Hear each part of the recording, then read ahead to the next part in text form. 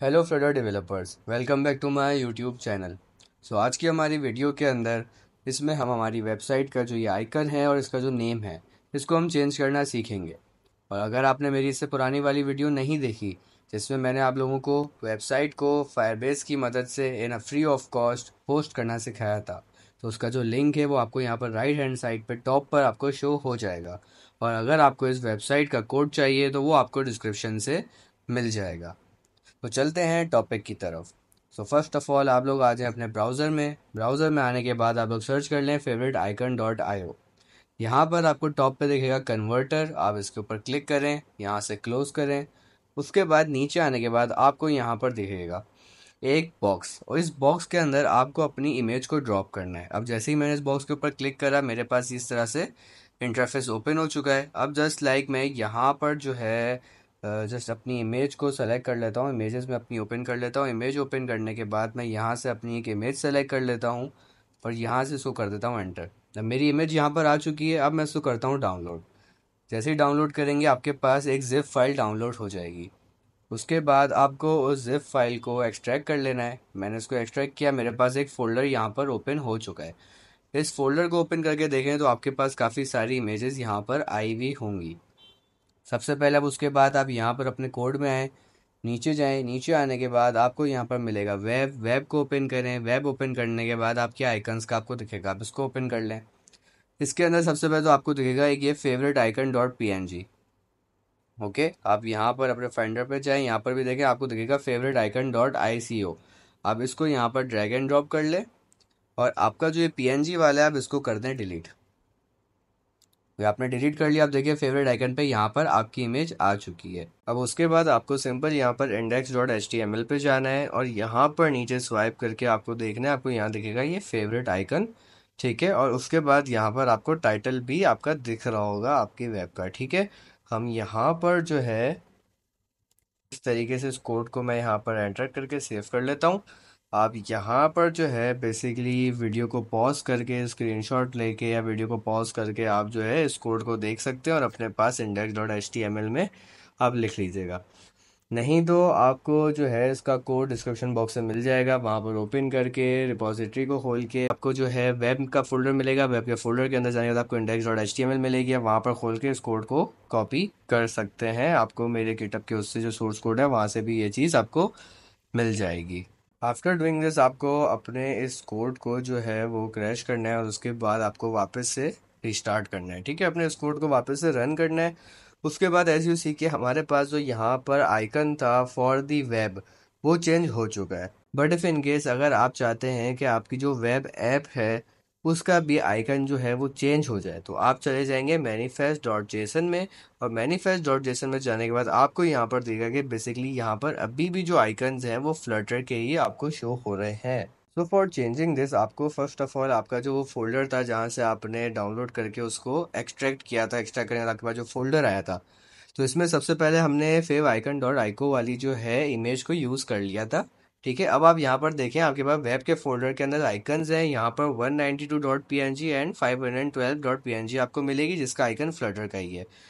और यहाँ पर आपके पास मैनीफेस्ट डॉट जेसन के अंदर भी आपको यहाँ पर ये कोड इनका मिल जाएगा।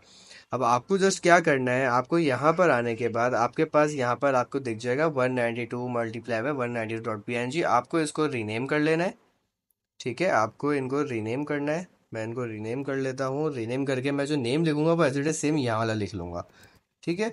Icon dash one ninety two dot P N G that's it अब उसके बाद यहाँ पर जो मेरे फाइव हंड्रेड ट्वेल्व वाला है, मैं इसका भी साथ इसी तरह से इसको रीनेम कर लेता हूँ।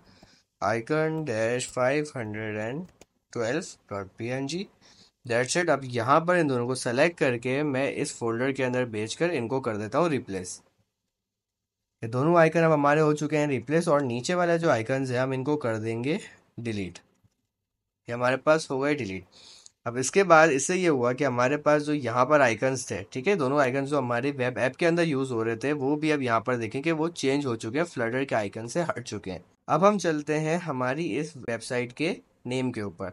तो फ़र्स्ट ऑफ़ ऑल तो आप मेन डॉट डार्ट में आ जाए और मेन डॉट डार्ट में आने के बाद सो मेन डॉट डार्ट के अंदर यहाँ पर जो है सबसे पहले इसको टाइटल प्रोवाइड कर दें। ठीक है, मैं यहाँ पर टाइटल इसको प्रोवाइड कर देता हूँ माय पोर्टफोलियो डेट्स इट मैंने यहाँ पर इसको रिफ्रेश करा। अभी तक कोई ऑफ़ कोर्स ऐसी बात है डिफरेंस हमको फील नहीं होगा, क्योंकि हमको प्रॉपर वेब को दोबारा से क्रैश करके बिल्ड करना पड़ेगा, लेकिन पहले हम प्रॉपर पूरा कोड सेट कर लेते हैं। उसके बाद हम चलेंगे index dot H T M L में। Index dot H T M L के अंदर जहाँ पर मैंने आपसे ये दोनों चीज़ें ऐड करवाई थी, यहीं पर आप नीचे देखेंगे, आपको जो है टाइटल दिखेगा। टाइटल के अंदर भी आपको जो है ये नेम ऐड कर लेना है। माई पोर्टफोलियो ओके आप फ़ाइल को सेव करें, यहाँ पर भी मैं स्पेलिंग को जो है वो सेलेक्ट कर लेता हूँ कैपिटल और ईच एंड एवरीथिंग सेम रख लेता हूँ। आफ्टर डेट मैं इस नेम को पूरा यहाँ से यहाँ तक कॉपी कर लेता हूँ index dot H T M L में चलते हैं। Index dot H T M L में चलने के बाद यहाँ पर आपने टाइटल चेंज कर दिया। यहाँ पर टाइटल चेंज करने के बाद आप यहाँ पर थोड़ा सा ऊपर आएँगे, जिसमें आएगा आपके पास मेटा टैग्स एंड आइकन्स ठीक है? इसमें भी आपके पास फायर बेस लिखा हुआ है, यहाँ पर भी आपको यही सेम नेम रख देना है। उसके बाद हमारे पास यहाँ पर आती है डिस्क्रिप्शन अब डिस्क्रिप्शन आपके ऊपर डिपेंड करती है, आप यहाँ पर लिखना चाहें या ना लिखना चाहें। तो मैं यहाँ पर लिख लेता हूँ माय पोर्टफोलियो वेबसाइट जैसे कि मैंने आपको बताया कि जब आपका यहाँ पर ये वेब का आइकन आपने चेंज कर लिया तो अगर आपको अपनी वेब ऐप का भी आइकन चेंज करना हो तो वो किस तरीके से होगा? तो इसी तरीके से मैं आपको यहाँ पर इसके नेम का भी बता देता हूँ कि आप मैनिफेस्ट डॉट जेसन में जाएँगे और यहाँ पर भी आके देखें, आपको यहाँ पर मिलेगा नेम के अंदर फायरबेस आप यहाँ पर भी इसको चेंज कर लें यहाँ पर शॉर्ट नेम के अंदर भी आप यही चीज़ को यहाँ पर एंटर करके सेव कर लें। आप उसके बाद यहाँ पर भी आती है डिस्क्रिप्शन यहाँ पर की डिस्क्रिप्शन भी आप उसकी तरह से सेम लिख लें।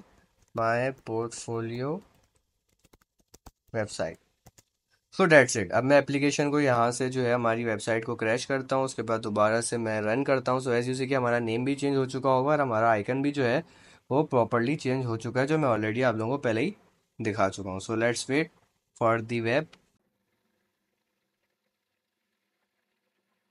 तो एज यू सी के पहले हमारे पास यहाँ पर जो है फायरबिस लिखा हुआ आ रहा था बट अब यहाँ पर हमारे पास माई पोर्टफोलियो लिखा हुआ आ रहा है और मैं जो रिफ्रेश भी कर रहा हूँ तो नेम हमारे पास सेम रह रहा है और हमारे पास हमारा आइकन भी आ चुका है।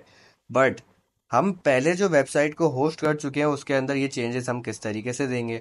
तो उसके लिए हमको वापस से यहाँ पर जाना होगा टर्मिनल के अंदर, हम खोलेंगे टर्मिनल टर्मिनल ओपन करना है टर्मिनल ओपन करने के बाद देखें, ये हमारी जो पिछली हमने, पिछली वीडियो के अंदर वेबसाइट होस्ट की थी। अब मैं यहाँ पर इसको ओपन करके आपको दिखा देता हूँ।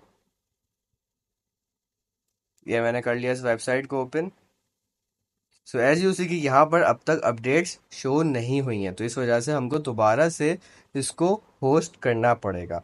तो हम यहाँ पर सबसे पहले यूज़ करेंगे फ्लटर बिल्ड वेब कि अगेन जो फ्लटर है, वो बेसिकली हमारी वेब को बिल्ड करे। जब ये प्रॉपरली बिल्ड कर लेगा, उसके बाद हम अगेन इसको डिप्लॉय करेंगे और उसके बाद हमें जो चेंजेस करी हैं, वो चेंजेस फिर हमारी होस्टिंग पर लाइव हो जाएँगी। So let's wait for the web यहाँ पर हमारी वेब जो है, वो बिल्ड हो चुकी है। अब हम यहाँ से कर देंगे फायरबेस डिप्लॉय